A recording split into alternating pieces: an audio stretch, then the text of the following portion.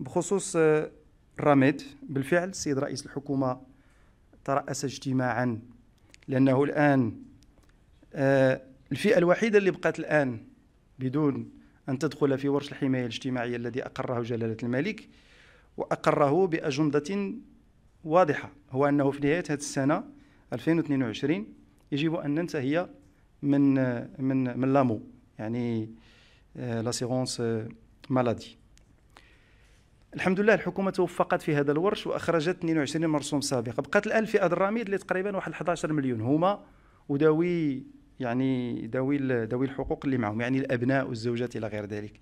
الحكومة سوف تتحمل هذا الشق يعني المساهمة ديال هاد الناس لأن كما كنتو كتشوفوا في الاجتماعات السابقة كنا كنجيبوا المرسوم وتنقولوا القطاع مثلا ديال الصناعه التقليدية شحال باش غيساهم؟ واحد 120 درهم واحد.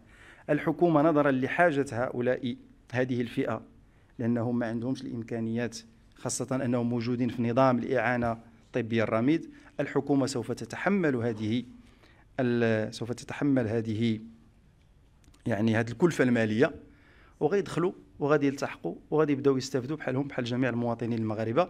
وطبعا من غيتوضح من غيخرج الورش ديال السجل الاجتماعي سوف يساعدنا كثيرا في تحديد الأشخاص الذين يحتاجون فعلا إلى دعم مباشر من طرف الحكومة.